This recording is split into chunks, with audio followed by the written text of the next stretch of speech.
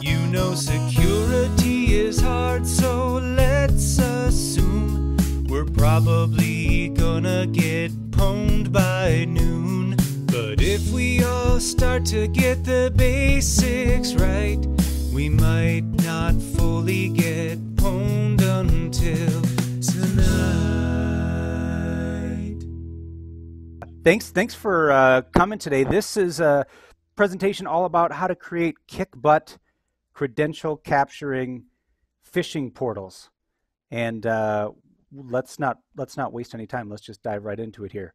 Um, we'll do some quick announcements. Uh, my buddy Paul from from Idaho is on the line. We'll just uh, briefly introduce each other. I've got a couple short announcements, and then we'll just we'll just get right to the goods. Um, I'm Brian Johnson with 7 Minute Security. So I do the 7 Minute Security podcast at 7ms.us and then also have a business wing of 7 Minute Security at 7minutesecurity.com where I do pen testing and training and general security assessments. And currently training to be a PCI professional. And with me is Paul Wilsh. Paul, thanks for being here. Hey everybody, this is Paul from uh, Boise, Idaho. I guess you can all see me, so it's different now. Um, yeah, I uh, run a um, cybersecurity group called Project Seven, and I founded that a couple years ago. And then I met Brian a couple years ago, just listening to his podcast, and somehow we managed to uh, be friends over the years, and everything's good. I've talked about you on the podcast before, Paul, as you were the guy who said uh, after you listened to a bunch of my episodes that you thought I would look more like Jared from Subway when we met. Yeah, and, yeah, uh, it was it was horrible. That's yeah. scarred every new relationship I've made since then. To be honest with you, yeah, it was really go, bad. I go, am I giving off a uncomfortable vibe? Am I making people and families and children nervous just by meeting me? I never know, but I assume yeah, the answer I, is yes. I would always joke to my wife, like, ah, Jared, he, that guy, you know, the Subway Jared is really creepy and obviously a really bad guy. And then I just listened to all your pot binge binge listening to your podcast as I was traveling, and it was like Jared's my co-pilot, pilot, you know. And I'm like, it was horrible. Right? Could have just Googled you, but I wasn't into that, you know. I'm like, nah, I just listen to this guy. Yeah. What if he looks? What if he looks worse than Jared? You know. Okay, I'm going to take that. That it could have been. it could have been worse. You could have looked worse than Jared. Yes. All right. There we go. All right.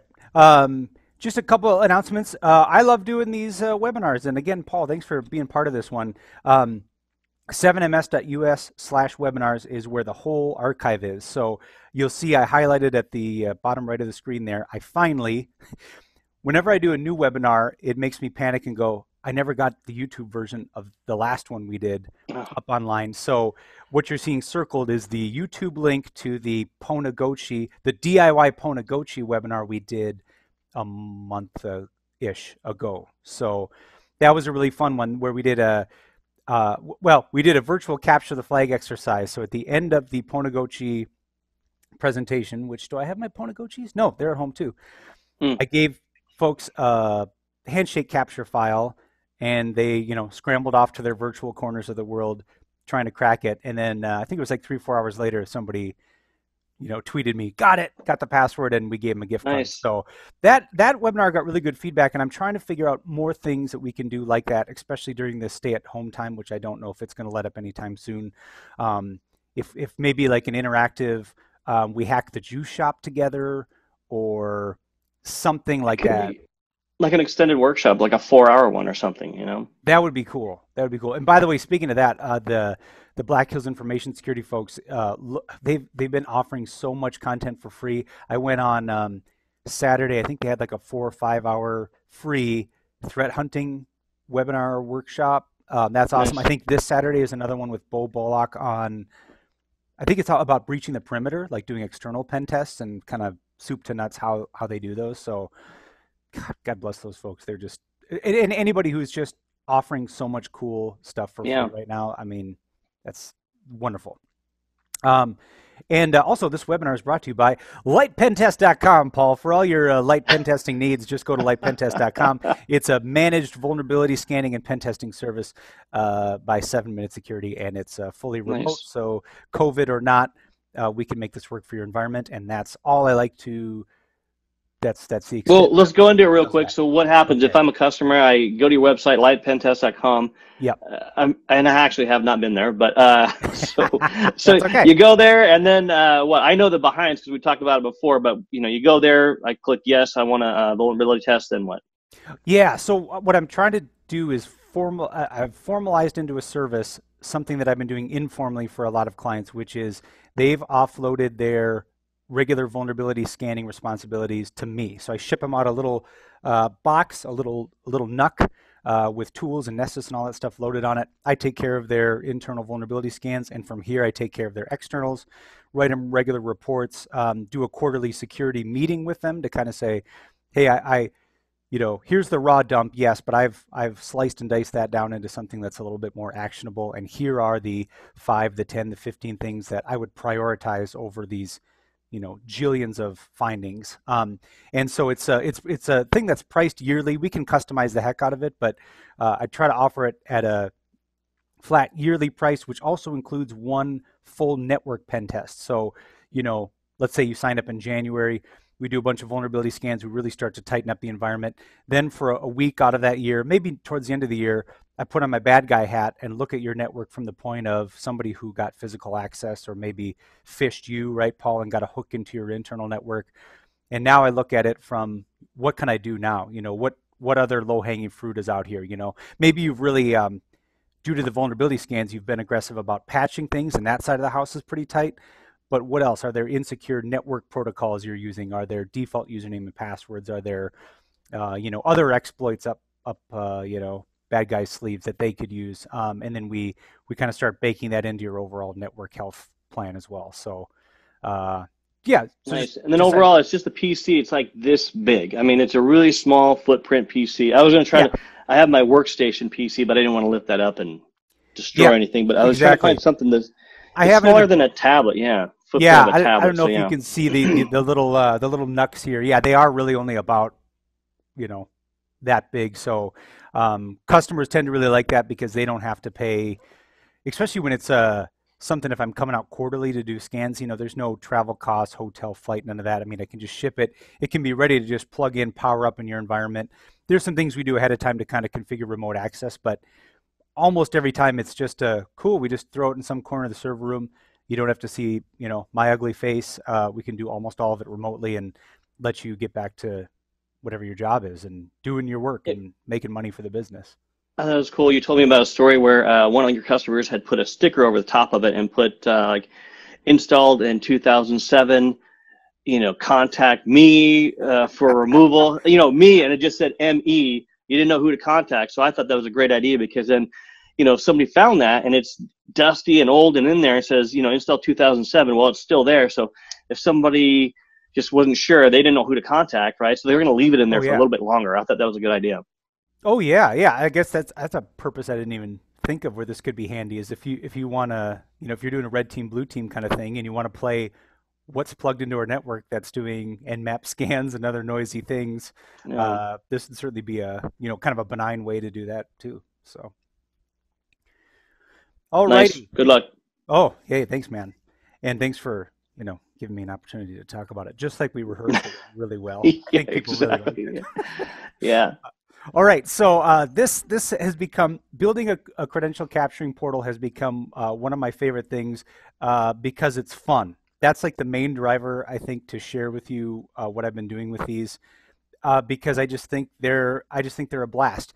And what I hope you'll see in this short time we have together is that um, this is something you can do without a lot of money. I think besides maybe a little Amazon web services time and the cost of a domain that's and and yeah some of your time this is a pretty cheap exercise to do i'd say it's um, relatively easy i know that you know we're going to cover a lot of ground today. You're not going to be able to probably sit right next to this presentation with your machine and just you know match me and, and get everything up and running but that's why we put everything up on youtube too.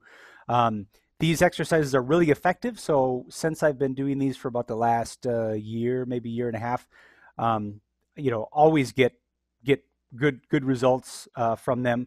And you know it can be used for both offensive and defensive purposes so you know, maybe you you've got KnowBe4, you've got some other service in your, uh, you know, it's so commoditized now, right? These these uh, services that'll do phishing exercises for you, and I think they're they're great and they still have a lot of value.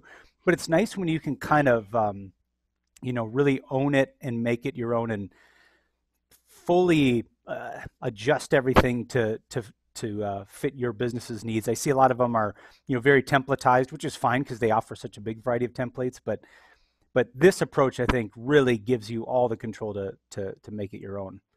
I think it's good too because then you can really get to know what what it takes to do one, and, yeah. and appreciate it. You know, so later on, if you went to uh, another company, KnowBe4 maybe, uh, then you you could understand what they're doing, or if you learn it and you you can do it and you're like well this isn't so bad. Why would i pay another company when you can do it yourself? So i think it's just yeah. you know more information the more you learn. And it's it is i think it would be fun to learn. I haven't done this obviously yet but uh, you told me about it and it sounds pretty awesome. Yeah. So i'll, I'll just show you when, when i'm when i'm going to do a phishing exercise for a customer I'll, I'll use myself as the as the the target for today. And let's just say you know I've hired some organization to do a, a phishing exercise against me. Uh, one of the first things that, that I would do is look for a good domain to, to fish with. And there's lots of different ways you can do this, but one of the most common ways is to try to find a domain that's available for purchase that just has a slight character change. That's one of my favorite things to do. So in this case, maybe you decide to scoop up 7ns.us hmm. because mm. when you send your emails from you know, Paul at 7ns, or if you're impersonating me, Brian at 7ns.us, your hope is whoever gets those emails is just, you know, they're, they're glossing over that with their eyeball and just going, oh, yeah, I'll click whatever this is, or I'll install whatever this is. Um, or uh, look for the same hmm. uh, primary domain, but with uh, an alternate ending. That's a really uh, popular uh, thing to do uh, too. Um, the, the, the problem that I've run into more and more is that these technical controls that people have in their perimeter are getting better and better at sniffing out fishy domains. So when they get a when they get an inbound email from let's say uh, you know 7ns.us, one of the criteria they look at is okay, uh, how new is this domain? Oh, it was just registered 47 minutes ago.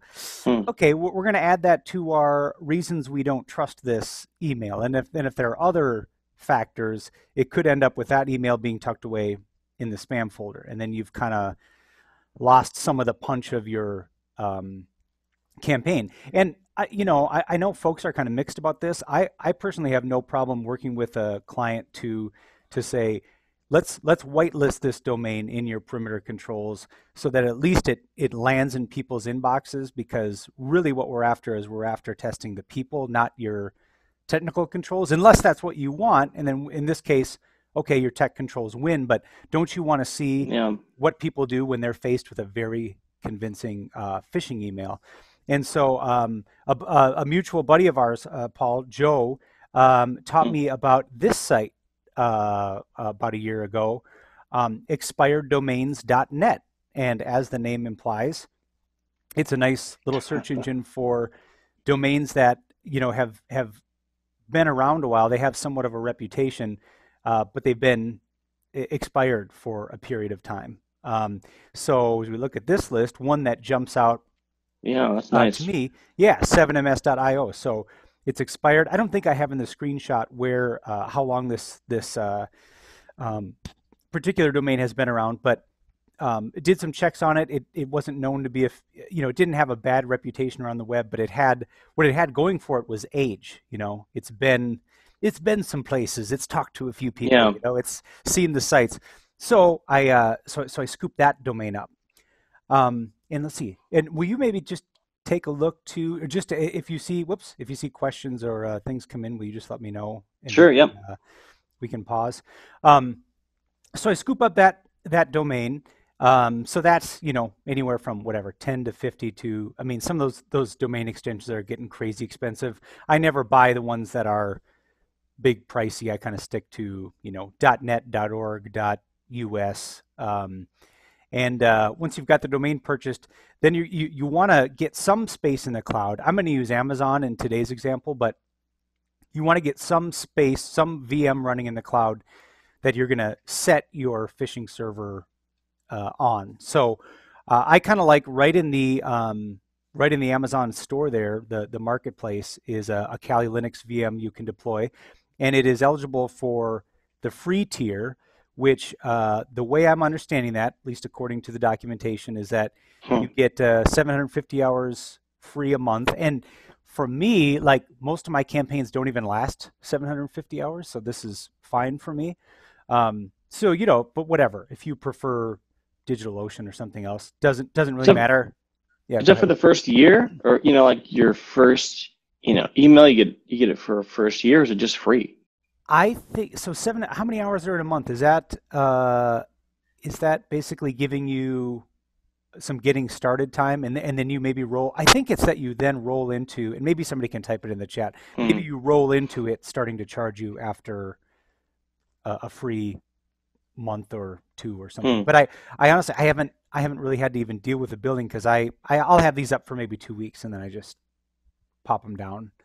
Um, Oh, I mean, I mean, uh, so you get the free tier, seven fifty, but then, I mean, is it does it just you just get free hours? That's it. I think so. I will have that's to. that's a lot. Yeah, that's nice. yeah, though, or I'll yeah. have to defer defer to our uh, friends online. Maybe they can chime in here. We can talk about that. Hmm. Um, Joe, real quick, Oh. Joe said free tier is forever, up to seven fifty uh, per month. oh, okay, That's good. sweet. Thanks, Joe. Yeah, thanks, Joe. All right, so you'll you'll provision that server. You will get a uh, you'll create a, a you know SSH uh, key set. And by the way, Paul, if you were going to go nuts right now and try to hack into that box, I don't have it anymore, so it's somebody else's IP. So please just kind of you know curb your enthusiasm for a few Or- moments. yeah. Uh, but you'll SSH in, and you will be ready to start setting up uh, your your phishing server. Um, it was also our pal Joe who taught uh, who uh, pointed me towards this awesome, awesome free fishing platform called GoFish. And actually, the um, the if you want the the proper kind of like full documentation site. Um, I mean, it is a GitHub project, but it is, and I just want to get the right domain so I don't send people to the wrong place. GetGofish.com, all one word or all one chunk. Get G O P H I S H.com. Um, but what I've got here, this URL is for uh, the downloads. And so uh, from your Kali VM, all you really need to do, this is right from my terminal. Hmm. Uh, I just made myself a folder called GoFish. Uh, I went to the uh, uh, opt folder and I just pulled down the zip file. And what's so nice about this, because um, I'm pretty comfortable with Linux, but anytime it's like, well, now you got to make this and compile that and tar zip your mom and all that other stuff, I just go, I'm nervous I'm going to screw this up. What's so nice is that you unzip the GoFish zip into a folder, and then there's one binary to run. You just, and you'll see it in a minute here, but you run it, and that's it. There is some config we'll do behind the scenes, but whenever you need to actually fire it up to run, it's just, you know, run it, take it down, run it, take it down.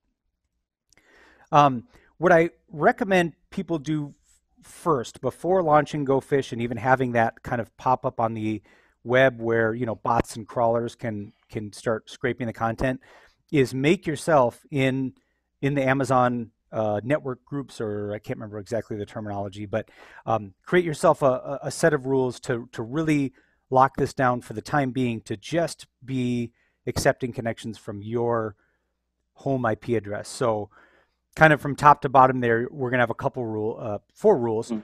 For port 80, that'll just be for people once they hit the, you know, phishing bait and hopefully click and send their passwords and all that good stuff. Uh, port 3333, that's for the admin interface uh, for creating the campaigns behind the scenes. So we'll talk about this a little bit later, but that one will, I would recommend keep that uh, always only available from your home IP address because um, you know clients will be submitting passwords that are going to be stored on this backend interface and you don't want Oh, some bot coming along hitting port 3333 and banging away trying to you know brute force their way into your admin portal yeah. um, and then port 443 because we're gonna we're gonna really make this shine. We're gonna throw a SS uh, uh, security cert on this phishing site before we're all done, and then uh, port 22 for SSH SSHing in and doing all Hmm. the config. And that's another rule that will stay. I would recommend that it stay open only to your home or your um, office IP address. Okay, so you make that make that chunk of rules, save that out, And then, like I said, you go into the GoFish folder, you type dot slash GoFish, and all those lines you're seeing, that's that's it Hmm. firing up, and it's it's like rip roaring ready to go right then. Um, so you will be able to immediately go to https colon slash slash your IP from Amazon or wherever you are colon three three three three. There's your admin interface. It does have a default username and password, so you want to make sure you you know get in there and uh, change that right away. So is that default password, username and password, is that uh, is that randomly generated or is it a static one that's, you know, as far as you can tell on the install, it's always the same? If I remember right, it's always the same. Yeah, Oh, I think okay. it's like get. I think it's like GoFish and admin or something like that. So right. there's another reason, like in that network group config, don't leave this open to anybody but Yeah. yourself. You know, I'm just actually. It's like okay, the probability that you know in the five seconds it takes you to start it up and come over here. Oh no, I'm just thinking if you know misconfigurations. You know, I'm just Yeah, thinking like yeah. somebody might get lazy and they're messing around, and they fish their friends or something like that, and they think it's funny, but they they just don't know what they're doing or security wise, and they don't Oh, yeah. change the username and password. So just wondering. Yep, good point. Yep, change that password for sure. Um, and then once you get in the admin interface, kind of all these menus on the left is is what we're going to step through at a high level uh, to uh, create our campaign. So it's got a just a really slick, polished, you know, GUI to it. I mean, it. I remember when it first fired up, I immediately felt guilty. Like already, I can tell this is something that I got to go support his campaign, or I don't know if he's got a SoundCloud or a GoFundMe or something, but.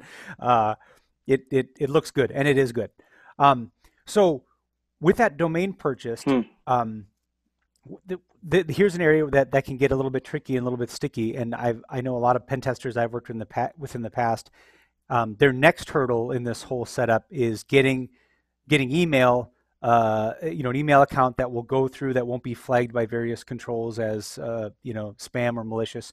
And so personally, I like to um, I, I have all my domains through Google Domains, and um, other other providers probably tie in with them as well. But what just makes it easy for me in my phishing workflow is that I register the domain, and then it's just a couple clicks to say yes, I want to add a G Suite uh, email address to this domain, and so boom, I hit click get G Suite at the bottom there, and walk through setting up uh, my admin account, and and typically I make one and own I make one account to rule them all, and that is going to be the person that I will be impersonating. So often in my phishing campaigns, I am pretending to be the head of IT or the he- the head of security.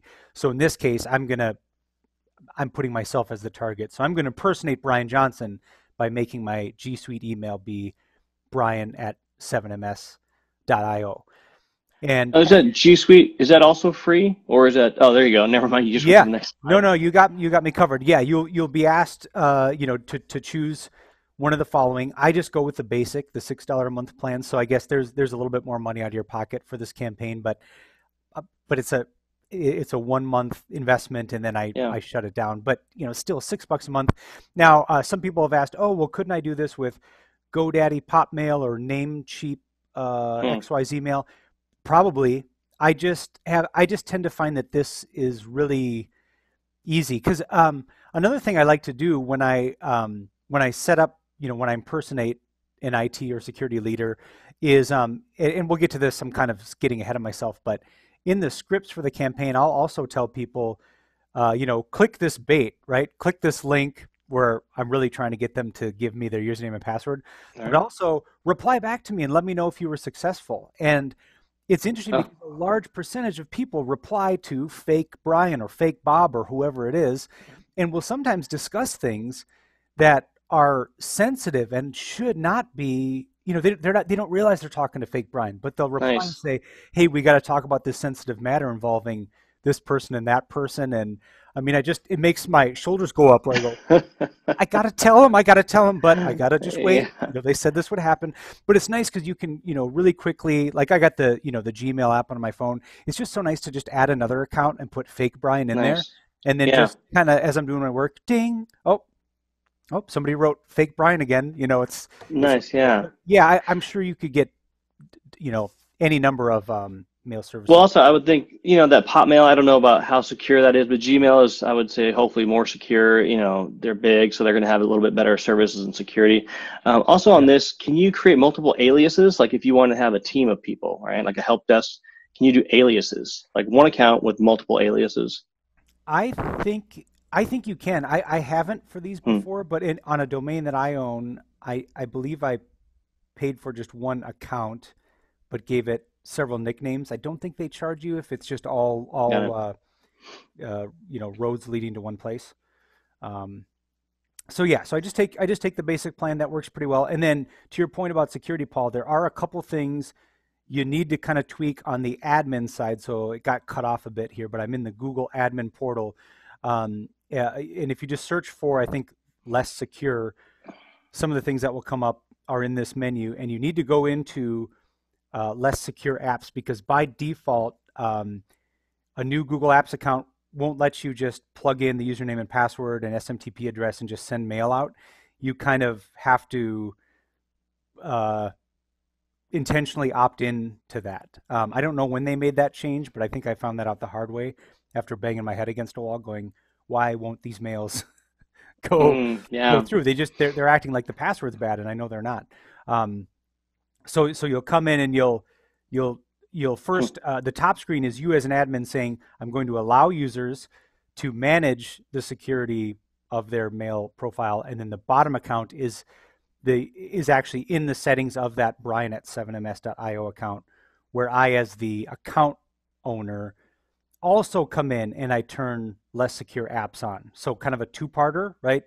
The admin of the GApps domain says I'm going to allow people to choose to be less secure, and then at the account level, you come in and turn it on. And I think I also punched myself in the head on an engagement on that because I did one and not the other. So I'm going to probably come back and watch this a few times to be honest with you because I always forget there are these two settings, but I think this captures it. Um, okay, so then back in your GoFish web admin portion, you will create an email profile. So at this point, like on the left side, you should be able to say, you know, here's my profile. It's called Totally Not Brian. It's going to be from Brian at 7ms.io. There's Gmail, uh, Gmail's SMTP address. Type in the username and password, and then there's a nice uh, test email feature. And then on the right, there, there's your there's your test message just to let you know everything's on the up and up. Nice. And that's also a good um, place. I think when I have bought old domains that got flagged, um, like I, I will sometimes on campaigns send this to my contact at a client who's helping me coordinate it, just to go, hey, did this make it into your uh, inbox or did it get dumped in uh, spam? So this kind of helps us know a little bit ahead of time whether or not we're going to be successful in getting in front of people's eyeballs. And you've had a higher success rate um, with these domains. I can't remember the one that that uh, Joe bought, that you bought from them. These uh, ones that aren't old, or the ones that are old. The- yeah, you, uh, success rate is better. more success rate with the ones Joe pointed me to to buy the aged, seasoned domains. Okay. Yeah. Yep. They just seem to plop happily in the in the inbox for the most part.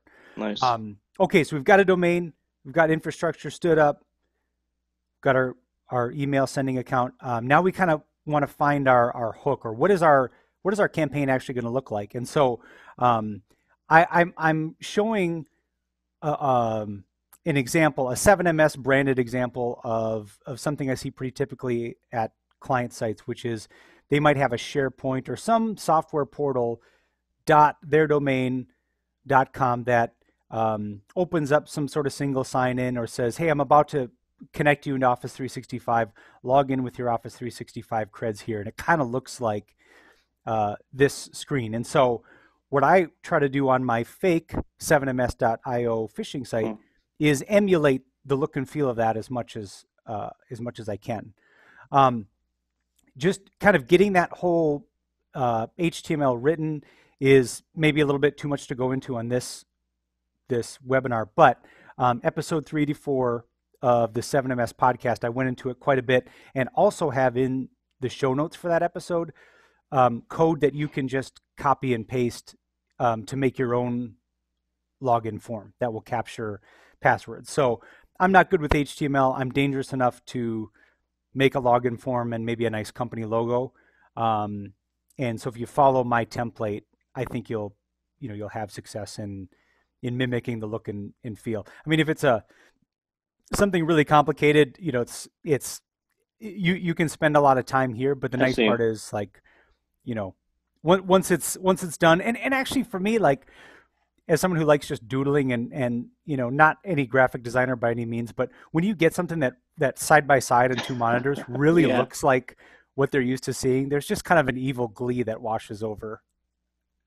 So so uh, so there's no there's no real GUI or that looked kind of like a right there. What is that? Yeah, so this is just the raw HTML code that is that is that is going to make the the you know make the GUI. This is just the code behind the site. So what I'm just Okay. offering here is you could copy paste that, tune it to mimic the page you're trying to emulate, uh, and then you end up you know you'll you'll paste that into the admin portal of GoFish, um, and then uh, we'll, we'll see what that looks like in a minute. But um, once you paste in the HTML code, when you scroll down a little bit in the screen, there's a couple of key things you want to make sure you tick as well.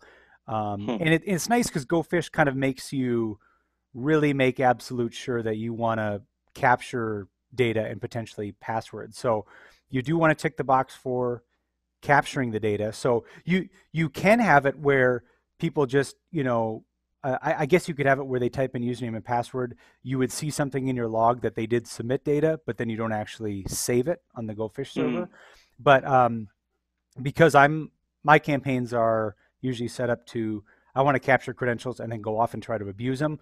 I Yeah. do tick the boxes for submit data, capture submitted data, capture passwords, and then they give you a nice warning too that you know right now we're just op our site would be operating over port 80, so that's bad, right? Because then someone sniffing the wire could get those creds. But Yeah. we're gonna we're gonna fix that.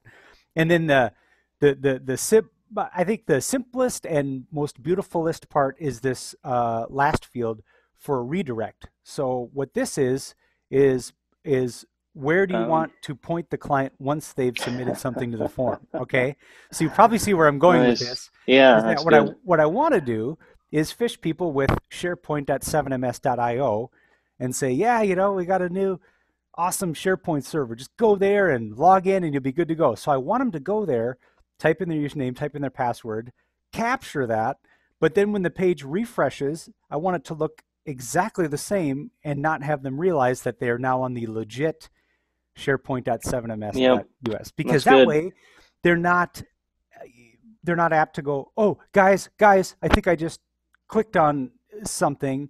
Um, I want them to think, oh, I must have fat fingered the password. Okay, there. yeah, and then they go on again. Yeah. Now I'm in, and and and uh, just so I don't forget to tell you, my favorite. Oh, you're you're excited. Look at you. I I think my favorite thing is when when I do a campaign like this and I'll say something like we've got a brand new faster uh, SharePoint server with more disk space and uh, more Yeah. features.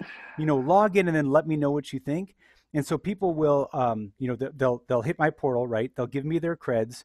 They end up logging into their existing SharePoint which isn't any different than it was yesterday. And then Yeah. they'll write back to fake Brian, me, and say, "Well, a couple things uh, I don't like about the new uh, portal. The color scheme isn't uh, pleasing to my eyeballs, and uh, it actually doesn't seem to be loading." fa-" And they tell me, they'll they'll tell me some things that that are legit, but many things that are no different because nothing's actually changed, right? Like I'm, it's totally yeah, yeah. they'll tell me the fonts are smaller and the paragraphs are more narrow and they liked it better when ba ba ba and I think no, nothing's nothing's changed. That's good. Tell me more. Tell me No, more, keep- friend. Yeah. Keep if you yeah, give me your credential. Well, actually, I guess I already Yeah. have the credentials. Um, so uh, so okay, so we got we got really almost everything set up, but security is a concern. We don't. I would highly recommend don't leave your uh, site on you know port 80. Lock it down with a true uh, cert, and thanks to Let's Encrypt, uh, you can do that for free. So I'm I'm linking to this article from Noopy, I guess. I think it's n00py.io. Um, but he's got an awesome walkthrough for doing exactly what we're trying to accomplish, which is put a Let's Encrypt security cert on our phishing site to protect both the admin portal and people submitting their creds so that that can't be sniffed in in transit. So it's really uh, his article goes through it step by step. but um, the, the, the high points of what you need to accomplish are uh, you pull down the Let's Encrypt uh, CertBot uh, program that, that generates the cert for you, and you run a command similar to what you see highlighted in red at the bottom there. So I'm, I'm basically saying, hey, Let's Encrypt, I would like to request a, secu- a security certificate for the following domain, sharepoint.7ms.io. And the way that I'm going to prove to you that I own that domain is by adding a DNS entry into my domain. So what they'll have you do as you walk through this wizard is the following. That, that top uh, box in red says, okay, please put a DNS text record uh, with this name, acmechallenge.sharepoint.7ms.io, with the following value, blah, blah, blah, blah, blah, blah, blah, blah, blah. And so you've got to go into, in my case, Google Domains, and I, and I have to make that text record um, to prove to Let's Encrypt that I own the domain. So I can't use it for malicious purposes, even though some would argue that I am using it for malicious purposes. Now, my, my big warning right here, and I should have put up like a red exclamation point. My big warning right here is that if you don't give that DNS record enough time to propagate and then you press enter, like the screen says to, mm-hmm. if it goes out and checks the DNS record and it's not there, um, it'll start the process over and, and give you a different DNS record to put up there. So uh, if you get to this point where you've made the record they've asked you to make, uh, do something like this. Use use command line. Use um, nslookup, and I'm setting the type to txt record, and then I'm looking up acmechallenge.sharepoint.7ms.io. Boom! It comes back to me with an answer saying yes. acmechallenge.sharepoint.7ms. Blah blah equals text da da da da. That's how you know the DNS change is propagated. It's out there. Now you can hit enter on that terminal, and then the Let's Encrypt wizard will just go, okay, cool, cool, cool, and then you'll see that screen at the bottom saying, great, here's where the you know certificate files are stored, and you're you're good to use it and and secure your interfaces. So um, we take those files that the Let's Encrypt wizard has have given us, and really um, we just need to run a couple of uh, commands, and this is all in that uh, uh, that Nupi um, article. Um, we, uh, uh, we, we Are you going to put this uh, link to that in your YouTube video down below in the comments or somewhere you can do that? Yeah, yeah, I will. I will. Would you copy those files out, and then there's a config file, kind of a master config file for GoFish. So you'll you'll kill your GoFish hmm. uh, running instance. You'll come into this uh, config file that you see on the lower screenshot, and there's just a couple of things to change. So you change the cert path and the key path for your admin interface. Remember, that's the 3333. And then also the listen URL, which is 443, so that we're serving this over HTTPS. Uh, you set the use TLS value to true. And again, for, for both places, you point the cert path and the key path at the let's encrypt files. yeah, pretty slick, right? This like, looks good, yeah. Yeah, a little config magic, a little copy, copy, and then um, come back into uh, fire up GoFish again. Boom, it's there in its lovely HTTPS padlocked glory, and uh, you know, give it the sniff test, and hey, well, sure enough, okay, it's valid. We're on. Uh, yeah. We're on Let's Encrypt. We can, you know, we can continue with our uh, with our mayhem.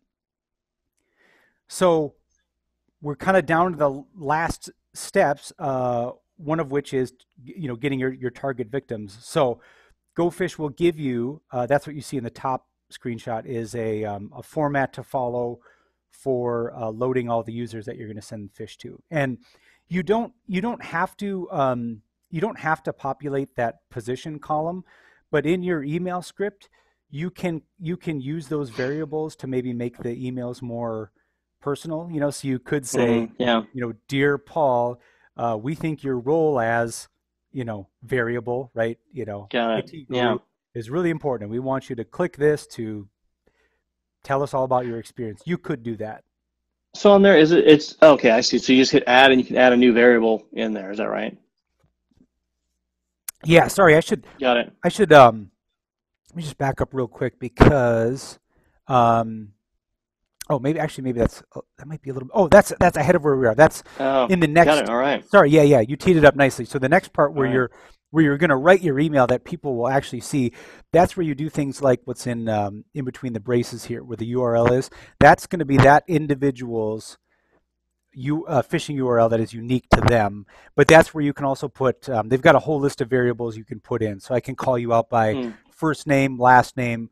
Um, I tend to kind of just like the hello everyone. I don't because for me when I when it's yeah. very when it's very personal when it starts with hello first middle last and it's my full name I I write yeah. Go, this came off of uh yeah yeah this is a, this is a bot oh, totally yeah so um I, I just personally make most of mine as casual as possible and I and I try to make my uh, emails brief but very juicy and appetizing so right away I promise I've got a, a, a new SharePoint site that can run a little faster and has more features and because I found out, and you you've probably run into this too, Paul, that you could probably be working with, uh, you know, a customer or a coworker who got a new top of the line computer yesterday, and if you told them today that they, you know, had a you had a computer that was running faster, if they would just do, you know, go stand on their head for a half hour, they would do it before you got done totally. asking them to do that. So I got I get their attention with that, and then I say, "Oh, please log in and give me your feedback." So I'm trying to make them feel warm and fuzzy, like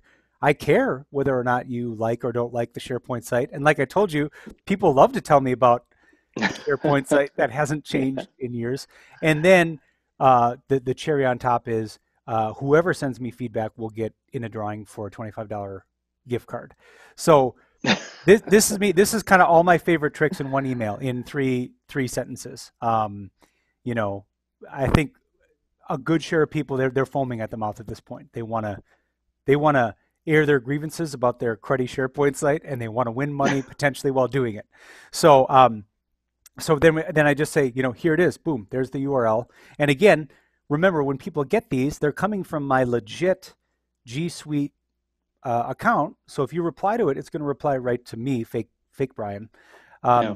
So I, I, paste that into our uh, script there, and then I make sure to tick the box for add tracking image. So what's kind of nice about that is once you get to see the the dashboard where um, all your emails are going out and you see what people are doing with the phishing emails, you can at least, you know, depending on how their Outlook or whatever is configured, um, often you can at least track to see who's opened it because that tracking image gets loaded when they open the email. So you can kind of see if it's getting to people, if it's getting in front of eyeballs, and then beyond that, you'll be able to click who clicked and or who um, submitted credentials. Nice. so I usually do one more um, as I get the the, the last camp, campaign screen going. Uh, you know, I, I, give everything one more uh, once over. I make sure I've got my URL typed in right. You know, make sure, make sure. I mean, if you have a typo here, nothing's going to work, right? Because all the unique URLs are going to be busted. Yeah. Um, and uh, you, so I so I picked my landing page.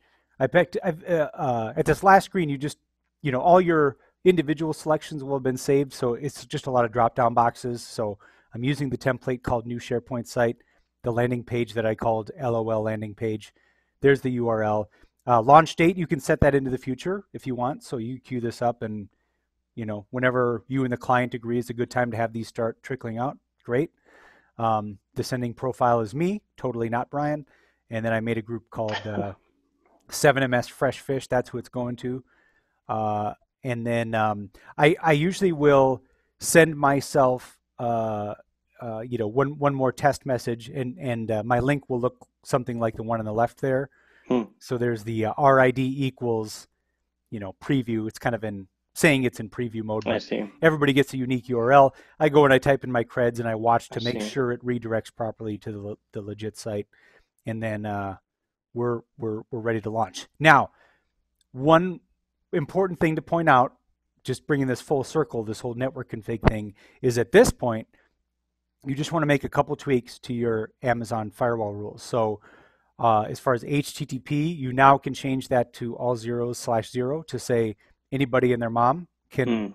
visit my site on port 80, even though really we are directing people to all HTTPS. Still, I don't think it hurts to leave that open. And then uh, do the same for 443 so they can see the uh, secured version of your site, and then leave 22 and 3333 just to you.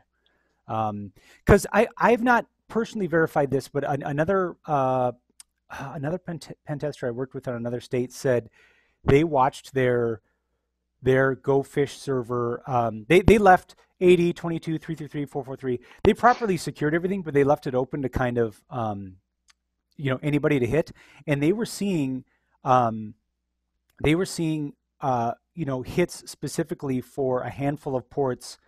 Um, and, and looking for 3333 as well. So I don't I can't confirm this, but my my tinfoil hat brain goes, oh, I bet some of these like perimeter control services um, can maybe classify a site as phishing if they see mm. 22, 3333, and 443 open. You know, oh, yeah. saying, oh, 3333 shouldn't be open on a just regular run of the mill website. I'm going to flag that as suspicious or whatever. So, um, again, that's more conspiracy theory than anything else. So I, but I still think in general, why have people knocking at your port 22 and 3333 door? Um, yeah. Besides you, so. Well, you know, I could see other people just scanning other uh, hackers. You know, like real bad guys, just scanning those ports just to try to get misconfigured or default passwords in there, right? I mean, oh, sure, yeah. I, I would, I would yeah. start scanning that. You're like, oh, what oh kind of password gosh. can I get? You know. And if I've got if I'm capturing passwords of C-level people for the organizations I'm targeting, yeah, right there. That's, yeah. You said it. You said it best. You you just wouldn't want to leave either of these admin ports open. Um, all right. So at that point, uh, once hey, real quick, yeah. Did you show? Did I miss that or space out? Did I on how you load the uh, email addresses? Is there oh, a yeah, bulk yeah. CSV? Yep, yep, that's here. So, so they give you a they'll give you a sample uh, CSV. Oh, that's part right. So then, yeah, you'd have to have your um, contact do like an export out of AD or something, or Exchange or something like that. Yep. And then once you load them all in, you can um, add individuals uh, up here uh, where it says Brian Johnson is a guy, um, and then they they, okay, they it. populate below. Yeah. Got it. All right. Yep.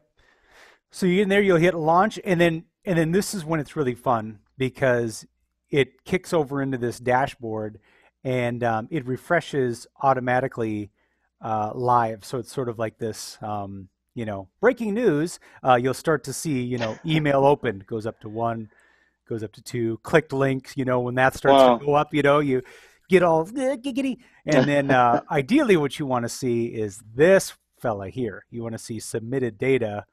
You want to see that number start start crawling up because that means that means people have uh, you know submitted data to your username and password field.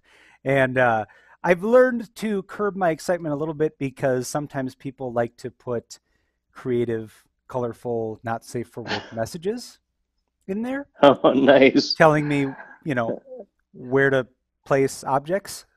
As, as if they, they found they know you're a bad guy or yes. they just know you're the IT guy and they hate the IT guy? They um they know that it's they they maybe don't know that it's me as 7ms you know working with their IT or security head but they they they figure it's spam and they're just kind of or uh, you know attackers and they're going to tell them to blank off.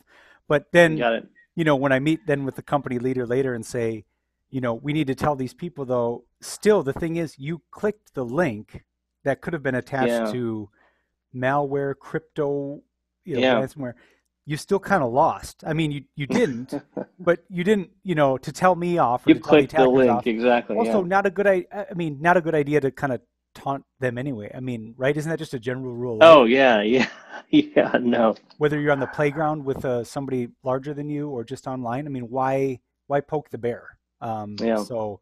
Uh, but anyway, yeah, you see that that uh, that number start to tick up, and then uh, you see here on the list Brian and Tommy Boy. They've both submitted data, so you can click into one of them. So in this case, we'll click into Tommy Boy.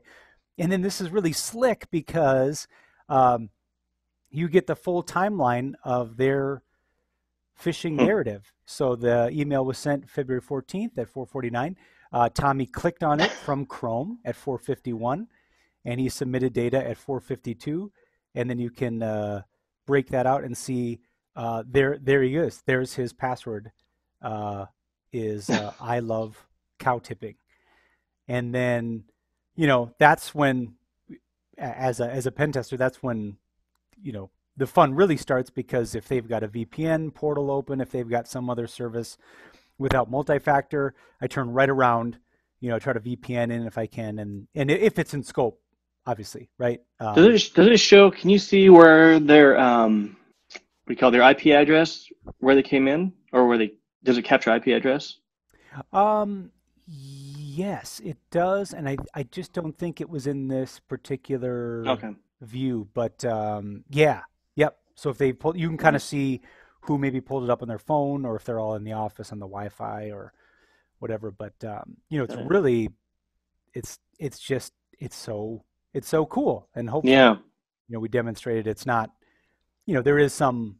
Uh, I, I would say after my first one, it felt more like riding a bike after that, where it's like, okay, I kind of get the rhythm of this Yeah. now and this that's part of the reason i wanted to do this really though selfishly is to document it for myself so when i miss the uh, google apps steps or miss the Yeah. how to get the ssl cert on i i don't uh, do it wrong next time uh, No, I think this looks good. I think it's uh, fun, just like anything. If you're into this kind of building your own servers, or you know, just like uh, way back when you used to wipe out your uh, Windows XP every six months, right? It feels good, nice. You build it yourself. I think doing this is pretty nice. Something you create yourself. Um, yeah, it looks really nice too. The uh, the uh, what was it? Fish. What was the name? Go fish. go go fish yeah Yeah, uh, they did a really good job.